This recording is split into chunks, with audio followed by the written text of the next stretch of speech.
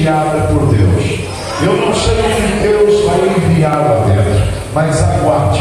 Deus vai preparar pessoas do nada e vai te surpreender. Eu passei a mesma revelação que eu estou campanha, até mesmo em Sertãozinho de quarta-feira, eu acho que você já ouviu falar, Assembleia de Deus Ministério Brasa Viva, Pastor Danilo. Se você não trouxe o Pastor Danilo aqui, traga, recomendar. Pensa num camarada que é tocha, ele fica três dias no monte, você ter uma ideia. É bênção de Deus, bênção de Deus Deus, não é menino não, é bênção de Deus. Eu profetizei na vida de uma gestante lá. E eu nem sabia que ela não tinha nem roupa.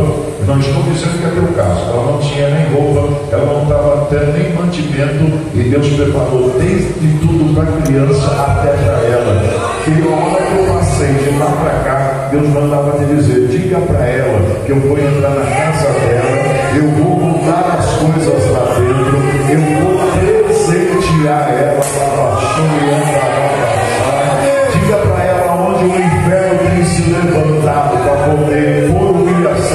E até mesmo coisas ruins na vida dela. Eu estou jogando por terra hoje. E Deus manda te dizer para você saber que é Deus o negócio. Logo pela manhã, por esses dias, você dobrou o teu joelho e você não tinha força para poder orar. E você só chorava e pedia a misericórdia do Senhor.